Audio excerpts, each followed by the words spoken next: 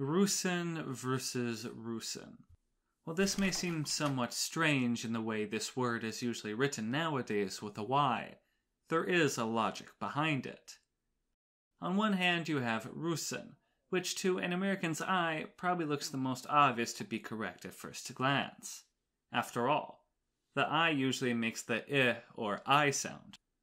While this is an oversimplification, we rarely ever use Y to make a sound like that.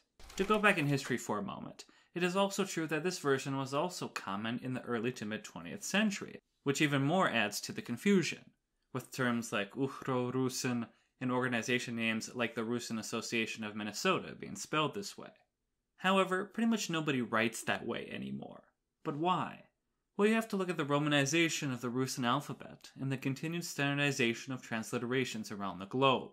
Back in the olden days, many people just simply did their best to match the original language sounds and letters with those in another script.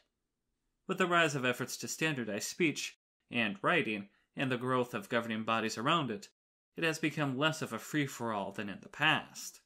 And while we don't have any true standardized script even for all regions in Cyrillic, like much more popular languages, there are standards and systems many writers in our community at least attempt to follow.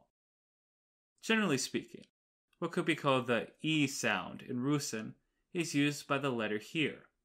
Like, for example, cereblo, meaning silver. Whereas the I sound is connected with this letter. When transliterating the script into a Latin alphabet using the BGN system, or the United States Board on Geographic Names system, I was matched with I, while this one was matched with Y. This letter here was also matched with a Y, but that's a conversation for another day and probably by somebody else.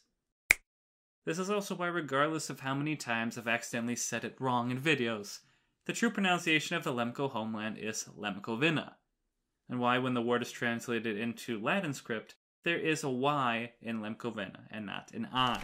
We do not say Rusin, but Rusyn, and because of this, the Y is used instead. Sometimes different letters in the alphabet are either added, removed, changed in meaning, or pretty much anything else depending on the historical region we are talking about, because of the lack of governmental organization of the language.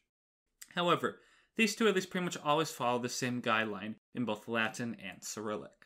And that is why when you see a Y, just know that there is an actual reason behind it, and it's not just for fashion. Thanks for watching, and I will see you next time.